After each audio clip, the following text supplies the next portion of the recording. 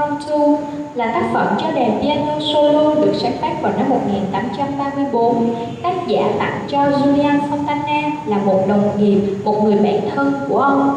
Tên của tác phẩm được hiểu với nghĩa tiếng Việt là tác phẩm tưởng tượng ngay thức thì hay khúc ứng tác. Tác phẩm là một sự thể hiện đẳng cấp của người nghệ sĩ đàn piano với tiết tấu khác nhau giữa tay trái và tay phải, với sự thay đổi tốc độ, thay đổi màu sắc, sự thay đổi nhiệt độ, thay đổi mức độ năng lượng phong phú vô cùng. Mặc dù Chopin không đồng ý, nhưng Julian Fontana vẫn tự ý xuất bản tác phẩm này. Xin kính mời quý vị cùng thưởng thức.